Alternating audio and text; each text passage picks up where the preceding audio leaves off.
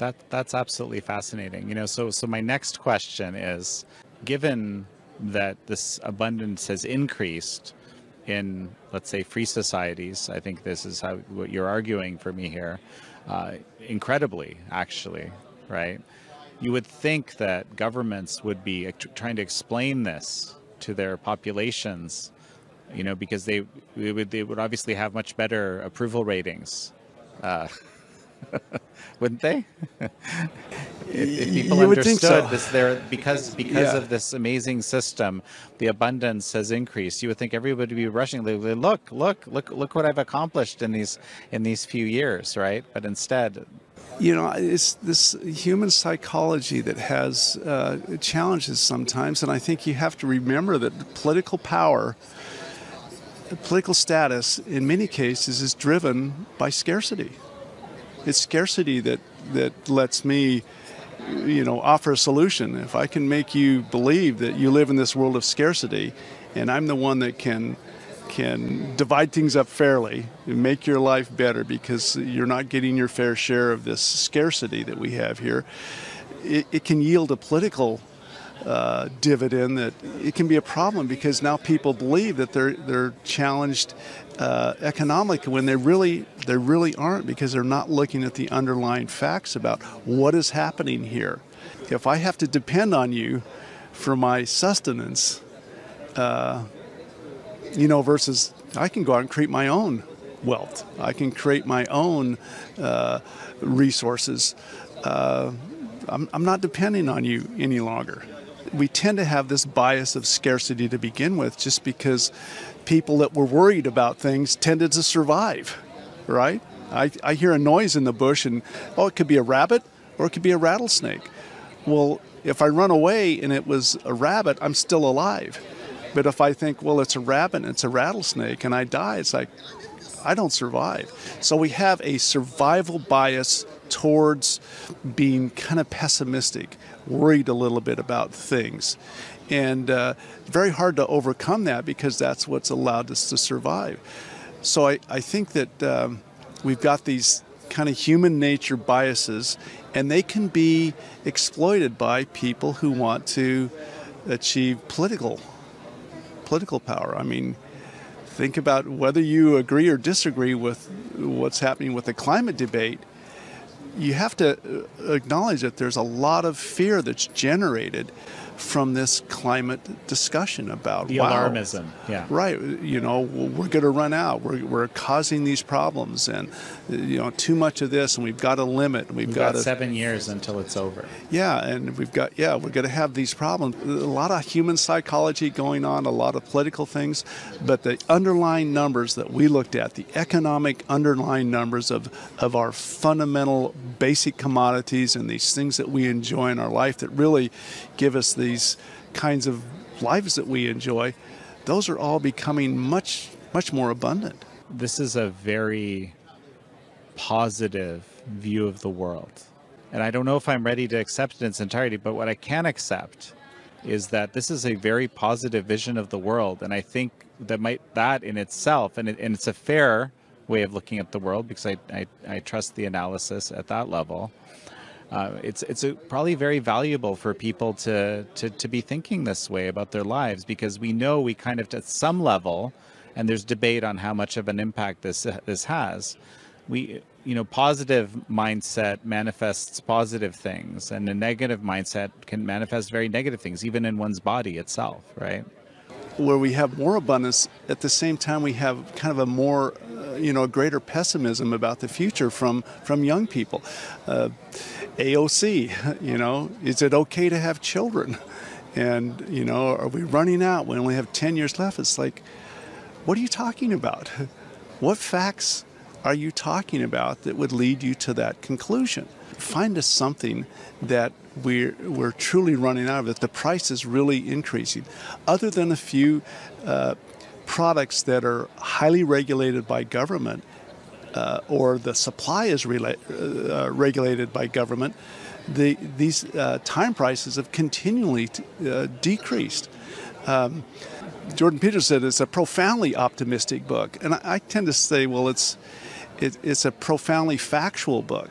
the facts that we looked at, all the data that we looked at, and we, we, we continue today, we continue to look at where can we find something that has become more scarce or less abundant. And it's been very, very difficult to find something that's become more time expensive, other than once again, these products or services that have a high degree of government involvement. So, and what would be an example of those? Higher education. Mm. You know, and you got the supply and the demand that are both being affected. So the supply is affected because of accreditation and and licensing and all of these things that reduce the supply. And then the demand's being affected because the government is, is providing uh, grants and loans. So if I give you a, a check for ten, twenty thousand dollars, thirty thousand dollars to go buy a car, what do you think the car dealer's going to do if they know you walk into the door with this check for twenty thousand dollars? Well, you're going to expect these prices to go up. So you really have you don't have this true market there, where you have two people that are you got a third party that's involved in affecting the the supply and demand. So higher education, healthcare.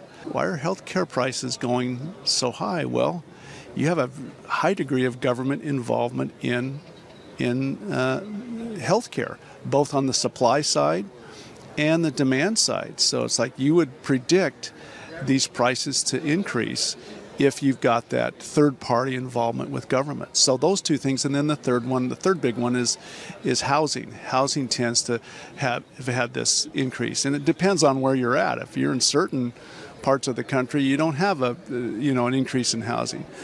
But where you do, generally if you dig deeper, you'll you'll discover that the government is involved in restricting the supply of housing through zoning and through other other limits on the supply side. These three items are, I think, you know, critical to many of the social ills, or uh, well, I guess the critical to human flourishing, obviously, but the the inverse of that, many of the social ills in our society today are tied to these things. These are things that you hear people talking about constantly. Right. I'm wondering if the reason is be, because of this finding that you have that these are uniquely you know, kind of inter intervened on uh, areas. Well, right? we were looking at services and we are trying to find a service that we could analyze. And what we hit on was that there are some medical procedures that are really market driven. Uh, LASIK surgery, your eyes, cosmetic surgery. I want to go in and get, you know, some things done. The prices of those uh, elective, market driven healthcare items has been doing this. It's been going down. Hasn't become just like everything else. Just like everything else, because they're mm-hmm. subject to market pressure, and there's no third party involved in either subsidizing or limiting subsidizing demand or limiting supply. So you've got these market forces that are working, and they're not this government influenced market or restricted market. So you see this abundance appear in those markets. We want everybody to have an education, we want them to have health care, we want them to have housing. But maybe asking and inviting the government to come in into those markets has actually been not a good thing. To me, what I'm thinking right now is, you know, because these are such important things to human beings, it's almost like these areas have almost been weaponized again, it, these would be the things that we would want to see the the precise opposite trend. Right. Right. Yet, because of our particular interest, ostensibly in making these available to all, the, the time price has actually increased. That is a, that is an, a, an absolutely incredible finding. Yeah. So let's let's think about. Uh, higher education. That's the kind of area that I came from. Uh, you know, and we see these prices every year, two to five, eight percent a year. You know, much faster than the rate of inflation. Like, I mean, no, no wonder there's this student debt. You know. yeah, and mean, that's that's part of it. Is like, look, we're gonna we're gonna give these people these loans.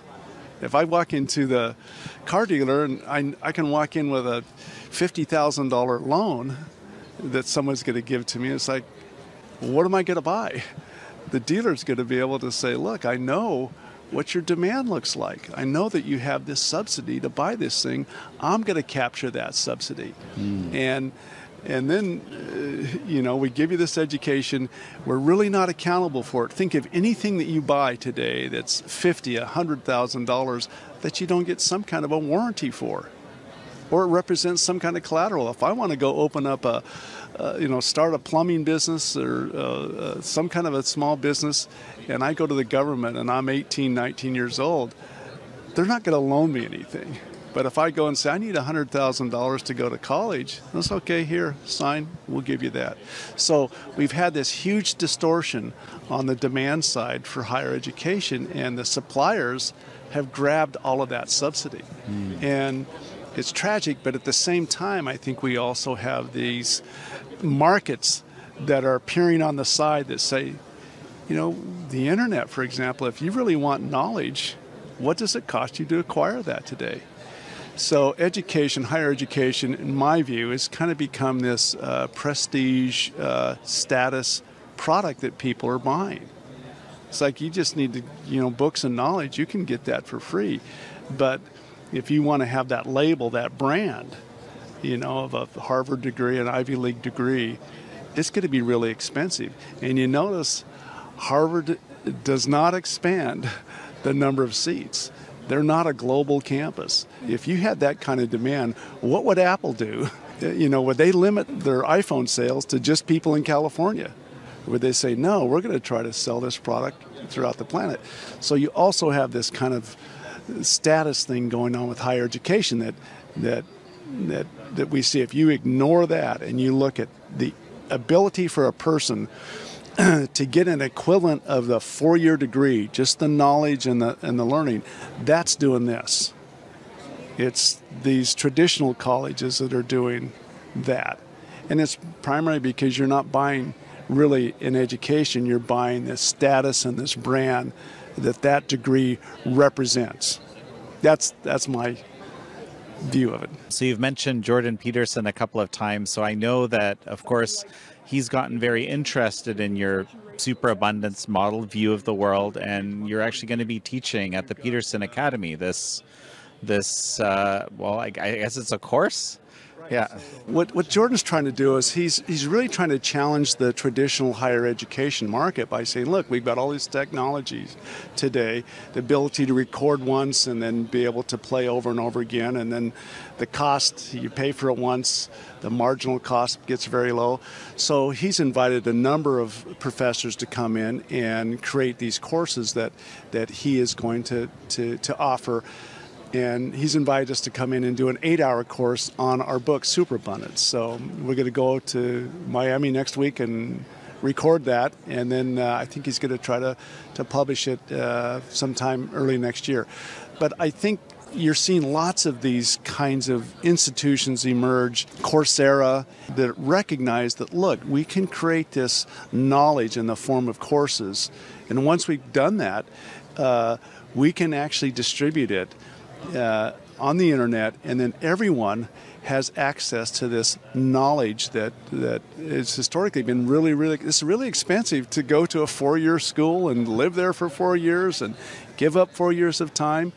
Uh, but if you can, if you can circumvent that and say, really, what I want to do is get the knowledge.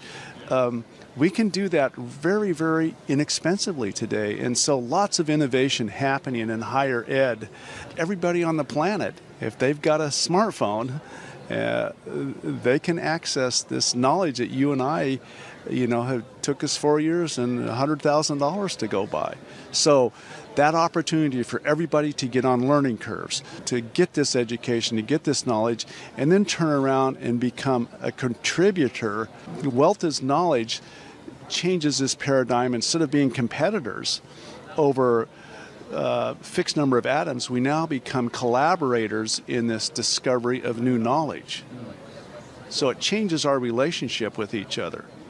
And I think that's also really, really an important thing to recognize and understand. That now, you know, we can create value for one another. We're not competitors, we're collaborators in this process.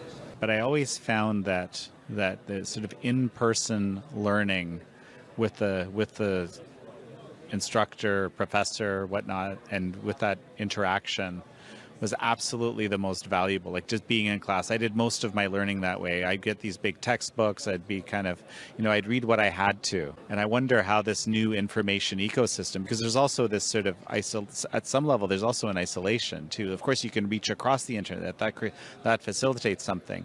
But what we saw, for example, during the pandemic, right, was a, a lot of kids not being able to do the in-person learning right that actually dramatically limited their learning period I'm a little bit suspect of the the internet learning as becoming a dominant form of learning. I guess that's what I'm saying. Uh, uh, while at the same time, um, I, of course, I welcome the the the abundance of opportunity there. Yeah.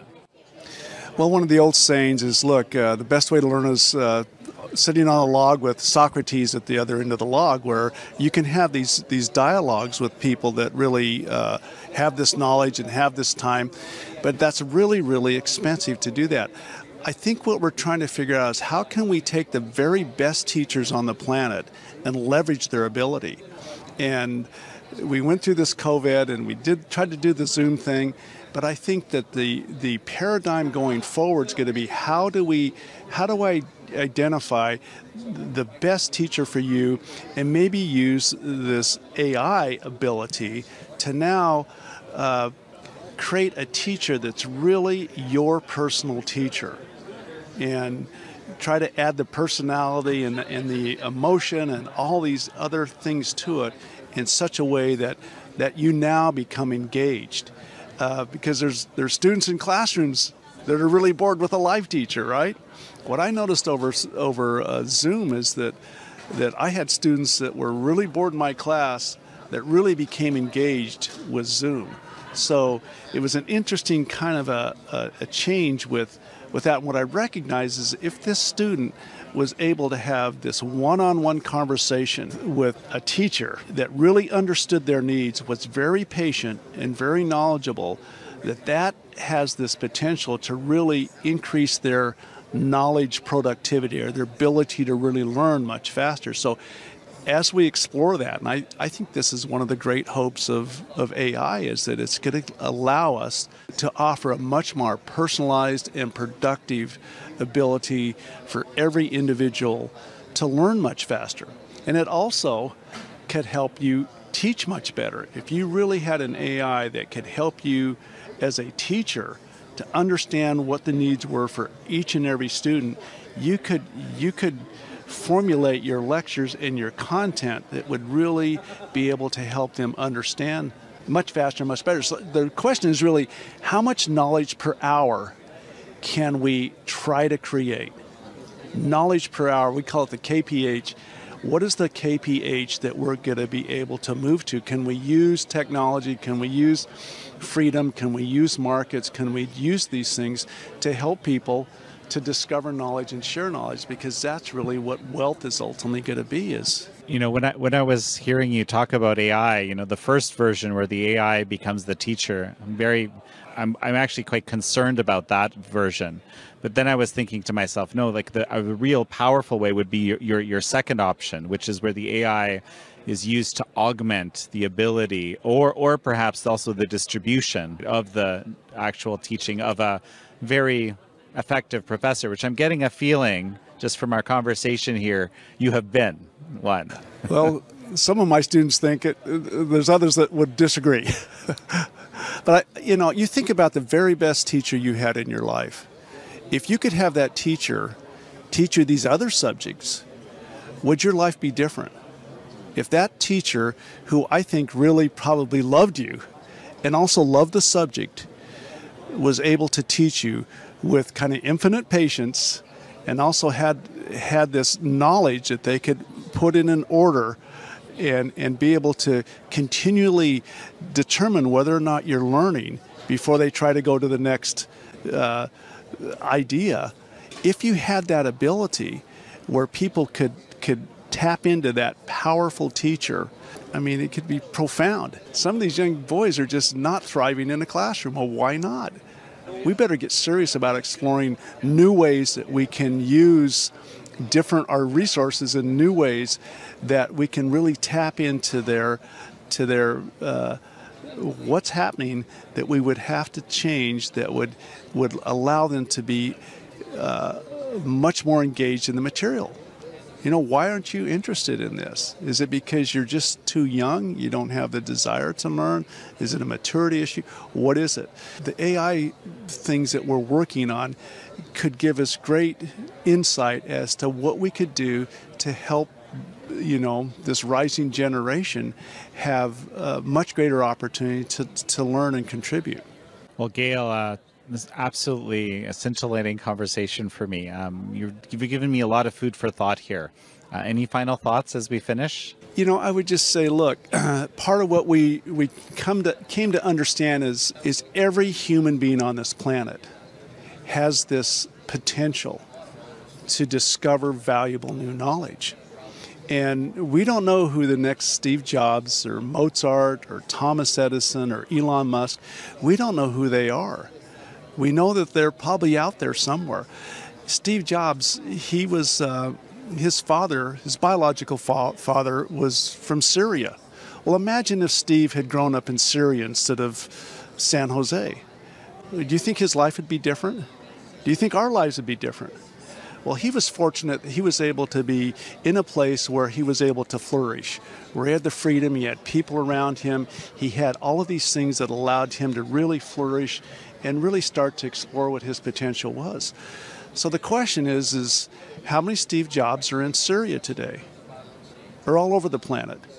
And and if we can genuinely seek to to extend opportunity and the freedom to innovate, the freedom really to learn to as many people as we can on this planet, it's going to be- benefit all of us.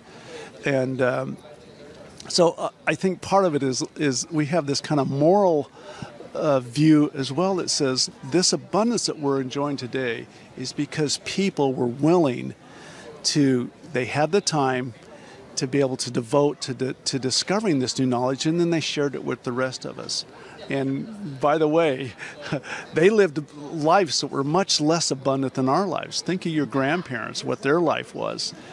They had a much lower standard of living than you and I did, but they devoted their resources, a portion of their resources, to investing in this knowledge discovery process. So we're all benefiting from that today.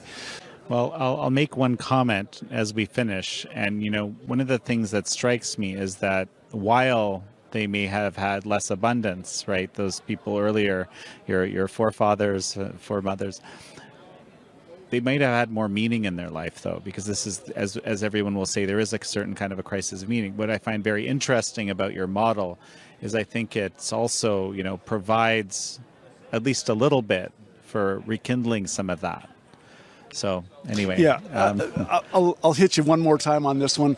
You know, Jordan Peterson talks about we find meaning in our suffering, and that's true. We can't find meaning in suffering, but I also think that we can find meaning in our creativity. If you're not allowed to create, we have these ideas that come to us all the time. And if we are living in a place that encourages us to to be creative friendly, entrepreneurial friendly. Uh, those places tend to produce all of this fruit that the rest of us on the planet are able to enjoy. So let's extend this uh, these environments to as much of the the population as possible, and then we can lift one another out of uh, our conditions. Well, Gale Pooley, it's such a pleasure to have had you on. Well, thank you very much.